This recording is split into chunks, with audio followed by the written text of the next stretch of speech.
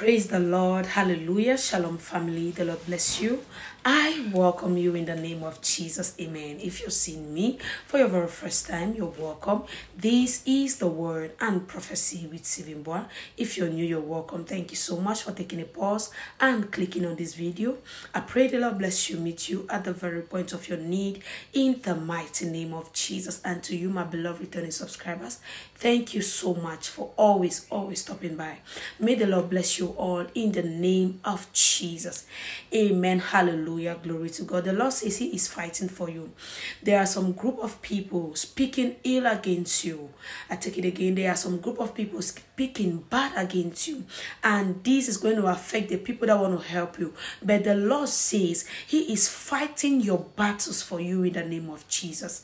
I pray in the name of Jesus, by the blood of Jesus, whosoever that speak ill against you, let it be terminated in the name of Jesus. Every bad word spoken against you be reversed in the mighty name of Jesus. Amen. Hallelujah. Glory to God. May the Lord bless you. Keep you, cause his countenance to shine upon you. May God be gracious to you. And may God give you peace in Jesus' mighty name. The shalom of the Lord. May nothing be missing in your life. And may nothing be broken in your life. You are blessed of God. You are protected in the name of Jesus. Amen. Hallelujah. God bless you. And I will see you in my next video. Shalom.